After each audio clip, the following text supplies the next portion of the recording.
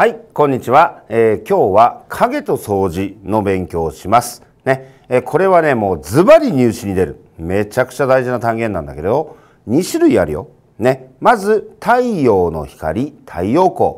ね、太陽は地球からたくさん離れてるから平行な線が届きます。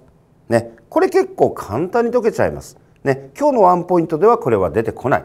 ね、もう一つ。地球にもものすごい近いところにある。ね、君地も上にあるでしょう。はい。街に出てもあるでしょう。ね、伝統の光。これは近いから広がるよね。はい、これが結構難しい問題がたくさん出るんです。ね、今日のワンポイントはその天光源っていうんだけどね、天光源に話題を絞ってちょこっとだけお見せします。ね、見てください。天光源は近くにあるから広がるよ。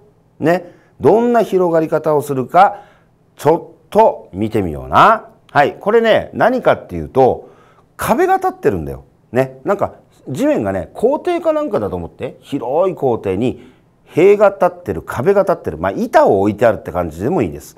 そこから少し離れたところに、ね、電信柱かなんかって電信柱じゃないな電気がで先っぽについてる電灯があって、ね、今から光がうわーって広がっていくと校庭に影ができるよね。その影ってどんな形になると思う？ね、えー、そんなところをしっかりまず今日は、えー、押さえてもらいます。ね。はい、いきます。赤い点が生まれました。ここに光がついてるわけです。ね。でこれは光は壁のギリギリを通るとき手前ギリギリを通るとき光はここ通りますね。はいこの光はどこで地面にぶつかりますかってことです。つまりね水色の光伸ばすよ。ほら伸びたでしょ少し。この辺までかな。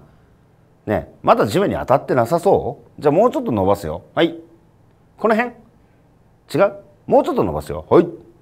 さあどの辺で止めればいいんだろう？それが分からないと形も分かんなければ長さも分かんないよな。だから教えるよ。いくよ。伝統の真下から壁の端っこの通るところの真下に向かって線引っ張って。いい？でこれを伸ばしてあげたところに向かってさっきの水色の線をぶつけるんですこうやって。ね、そこで影が終わるからね。つまりこの部分に影ができたわけ。塀の影がこの短い部分にできたってことを、ね、書き方を覚えておいて。真下から真下結んで光を当ててぶつかったところまでってことね。はいこれを奥でもやってみよう。ね。塀の右でやったから今度左で同じことやろう。ね。この水色の線どこら辺で止めていいの？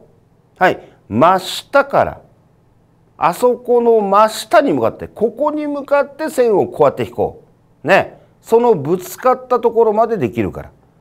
だからねここで止めようってこと。水色の光を。いいね。はい。すると影はこうなりました。赤いところが影。これ台形なんだけどね。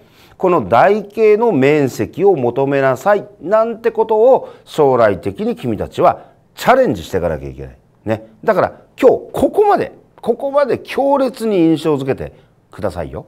ね。はい。では、まとめます。まとめますっていうか、もうちょっと先のこともちらっと言って終わりにします。ね。天光源は広がるよと。で、横から見た分析と上から見た分析が将来的に必要になります。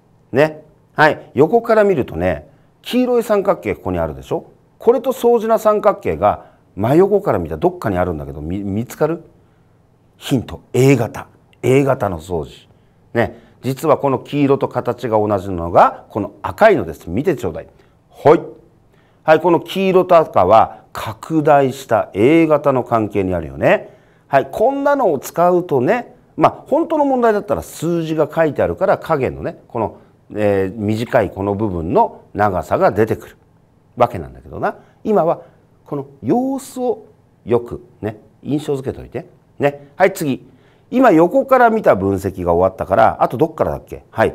上から見た分析をしましょう。はい、上から見てあげるとね黄色い三角形と相似な三角形がやっぱり見つかるよ。上から見た方向で。どっかにある？見える？